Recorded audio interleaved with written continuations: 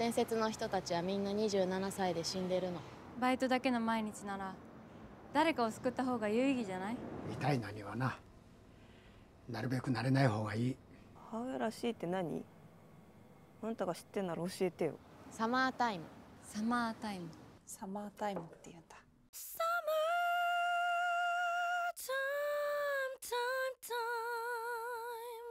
消せるかもしれない後悔でしょ？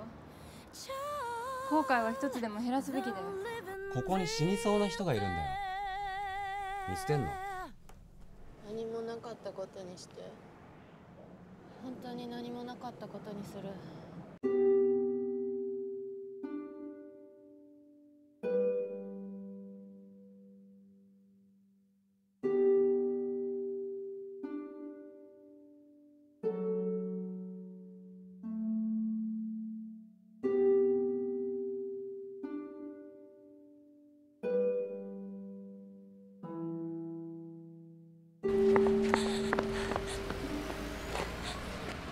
か間違ったことした？なんで私だったのね？